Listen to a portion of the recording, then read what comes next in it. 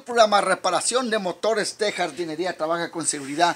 Es tu responsabilidad y no la mía. Aprendamos juntos. Bueno, en, este día tengo un Poland Pro aquí que ya, como ustedes saben, los seguidores de mi canal, yo ya hice el video de el diagnóstico. En el video del diagnóstico ah, prendía, pero al acelerar se ahogaba.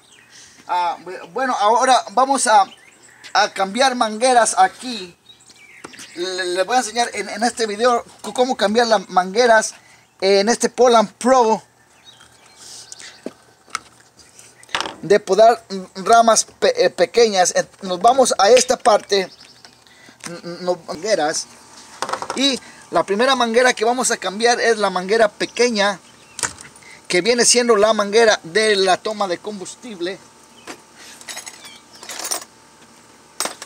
Obviamente estamos viendo que es la manguera de la toma del combustible. Y vamos a ver si va a prender y, va a seguir siendo el mismo síntoma después de la que la reemplacemos y pongamos la, la manguera nueva. Y le vamos a cortar esta parte aquí. Siempre cortar lentamente para que no se selle. Ponemos la, manguera aquí, lo sabemos ahí, pero aquí es donde está el, el problema. Esta parte es fácil, pero aquí, aquí en esta parte es donde usualmente, donde usualmente yo corto la manguera, la trato de cortar a la mitad lo más que puedo y con cuidado de no morder mis dedos. Y en esta parte aquí vamos vamos vamos. Vamos aquí.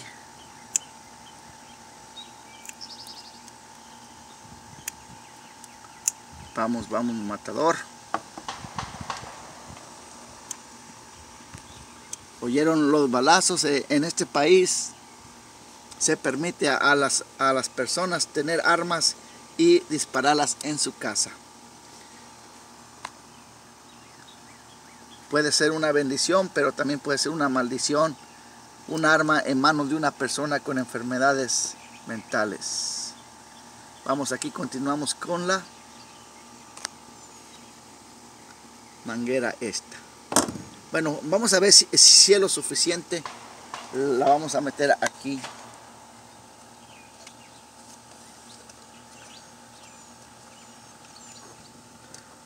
Ahí, la vamos a meter, no sé cuánto.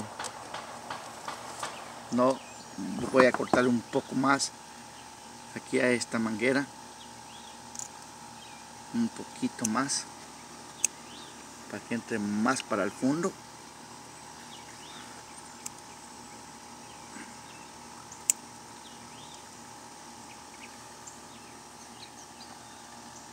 Tengo tiempo haciendo esto y les voy a decir que no he encontrado una técnica más rápida. Son esas cosas que se tienen que hacer como se tienen que hacer. Bueno yo creo que aquí tengo yo un poco más de manguera que puedo meter una vez que entró ahí. Ahora sí voy a utilizar mis pinzas de cirujano. Este es el tipo de, herramienta recomendable que vamos a utilizar para hacer este trabajo. Ah, pinzas de cortar, pinzas cirujanas de curva o inclusive hay, estas, estas son buenas, son snap-on, pero hay unas chinas baratas también que tienen la misma forma y hacen el, mismo trabajo. Uh, desarmador plano y otra herramienta más, permítanme una llave Allen de 4 milímetros que quizás se vaya a tener que ocupar en, caso de que tuvieras que limpiar tu carburador desarmador pequeño plano de desarmador para ajustar carburador. Es toda la herramienta que ocupas aquí. Bueno ahora vamos a quitar, antes de proseguir, vamos a quitar la manguera de retorno que se va a tener que cambiar.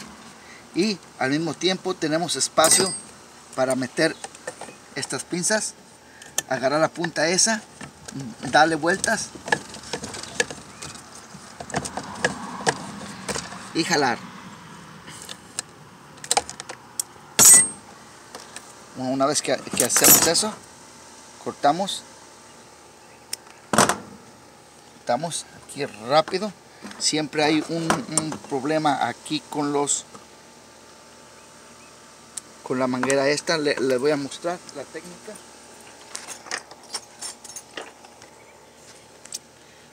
No es exactamente las pinzas que ocupaba pero vamos a ver si pueden. La idea es hacer expander la entrada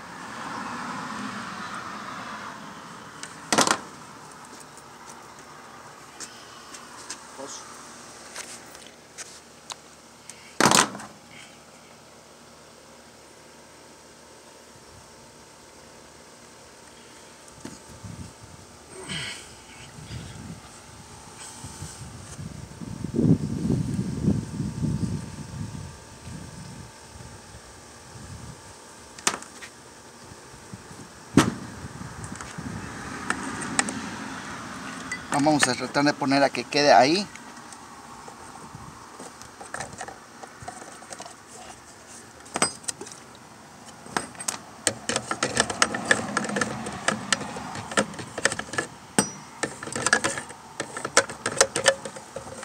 Vamos que baje me bajó. Ahora lo que quiero ver yo que haya quedado en, en esa parte voy a darle un poco más de ahí está. Ok. Ahora venimos. Aquí es el combustible. Acuérdense que la del bombillo la, el tubo que va en el bombillo esa automáticamente vamos a saber que es la manguera de retorno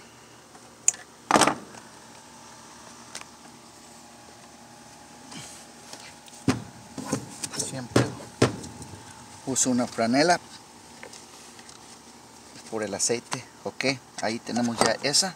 Ahora vamos a ver si tenemos aquí la, medida correcta. Vamos a ver parece que esta es. No tenemos la equivocada. Esta voy el diámetro está muy abierto.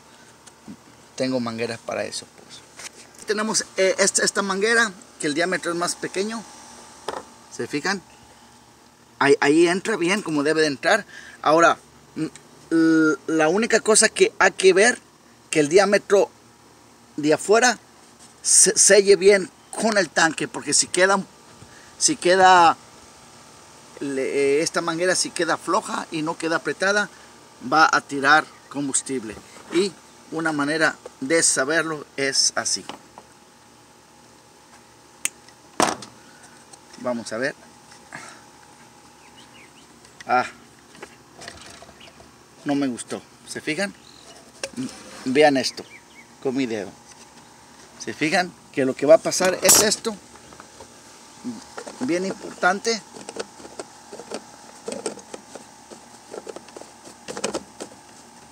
Por eso este video es solamente de cómo cambiar mangueras. ¿Sí? Liquea. Tira. ¿Se fijan? Que, está tirando combustible, no, por esta, por esa. Entonces aquí es donde se tiene que poner la original. Ahí tengo un paquete con originales. Lo voy a buscar.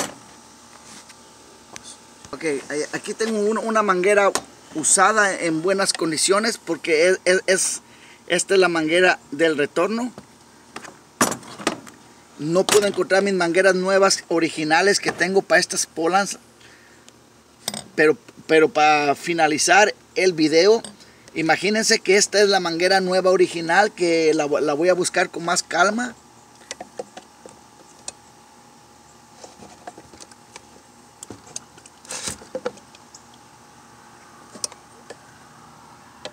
Con cuidado sin dañar la manguera.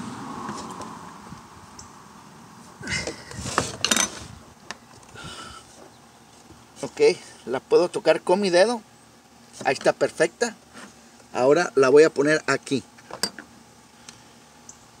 Este es original. Pola, se fijan la medida cómo entra a la perfección ahí está. E, esa va a ser el trabajo de mientras que pongo mi manguera nueva que la tengo dos paquetes ahí. Ok ahora vamos a ver qué va a hacer con estas mangueras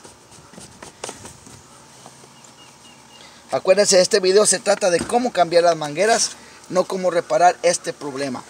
Voy a hacer otros dos más videos. Quizás solamente sea eh, quizás este las mangueras rotas quebradas quizás solamente esto pueda ser el problema. Quizás no. Ok están listos ¿Qué?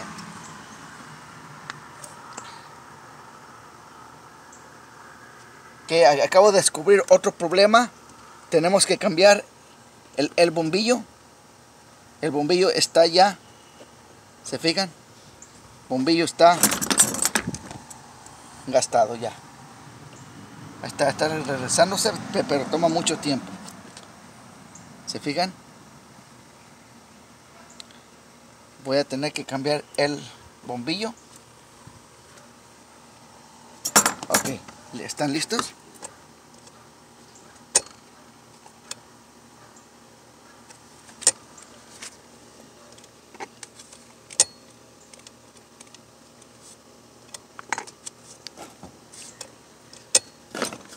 para abajo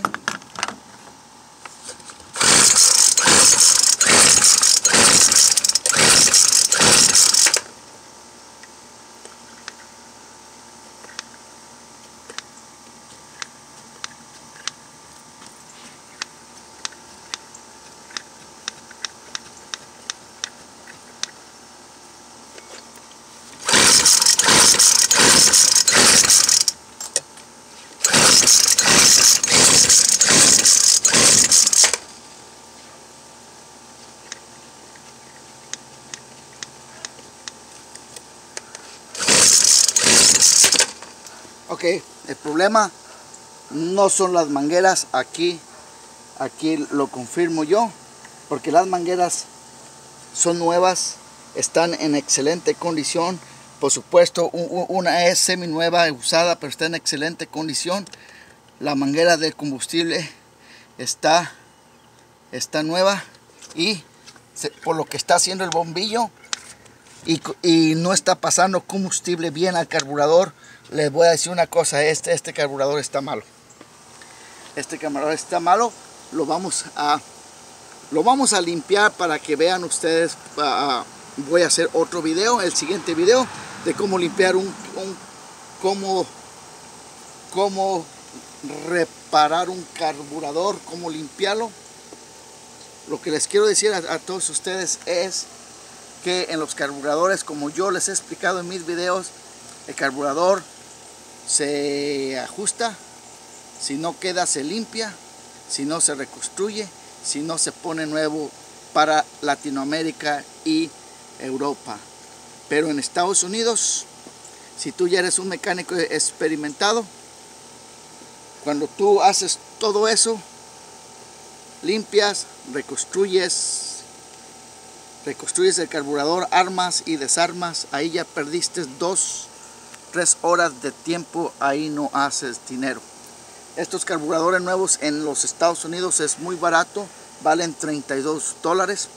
Así tú no pierdes tiempo y el cliente no pierde dinero porque el cliente va a tener que pagar por un, por un juego para reconstruirlo que el 70% de las veces no quedan bien aquí en Estados Unidos en motores de dos tiempos. En Latinoamérica es diferente, las economías son diferentes, ahí sí tienes que desbaratar dos, tres veces, lavar dos, tres veces, reconstruir una, dos veces si quieres y, y allá las economías son diferentes. Y, si eres mecánico pues a cobrar.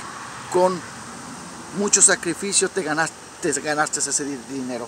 Ok, entonces aquí termino mi video de cómo cambiar mangueras de un carburador de la marca Poland Pro, de un podador de un podador de ramas es de 25 de 25 cc. Acuérdense que esta persona ya compró este motor. Se fijan aquí, este motor fue reconstruido.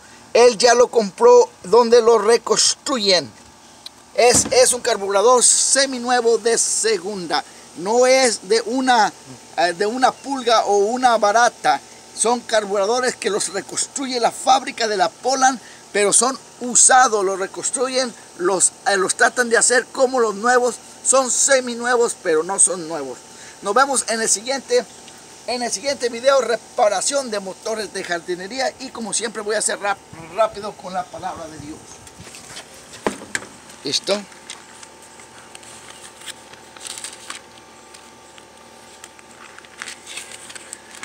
En Ezequiel capítulo 35 rápidamente les voy a enseñar perdón, capítulo 37, dice, el valle de los huesos secos, la mano del Señor vino sobre mí y su espíritu me llevó y me colocó en medio de un valle que estaba lleno de huesos.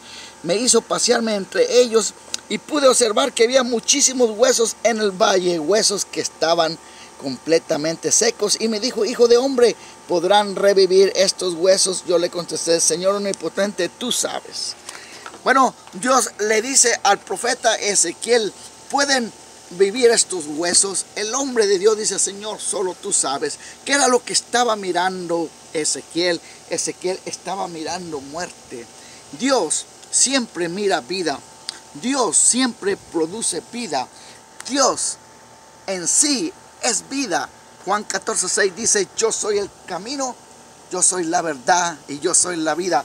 Juan 10, 10 dice, yo he venido para que tengan vida y tengan vida abundante en abundancia. Jesucristo eh, eh, dice, eh, el, el que cree en mí tiene vida eterna y no morirá jamás. Dios es vida. El pecado, el ángel de la muerte y el diablo es, son tres que producen muerte. Oh, Dios Padre, Dios Hijo y Dios Espíritu Santo producen vida al hombre y vida eterna. El diablo, el, el ángel de la muerte y el pecado son tres también que producen muerte. Por eso Dios le dijo a Ezequiel, Ezequiel, ¿qué estás? ¿Qué tú ves, Ezequiel? ¿Qué tú ves?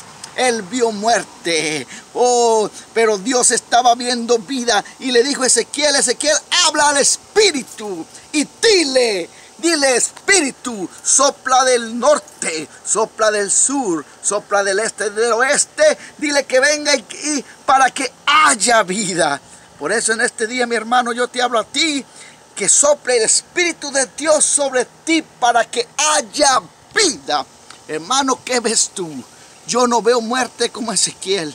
Te voy a decir lo que yo veo yo veo vida, porque Jesús me ha enseñado que si yo lo sigo a Él, yo tengo vida y tengo vida eterna. Aleluya, gloria al Señor. Bueno, nos vemos en el siguiente video.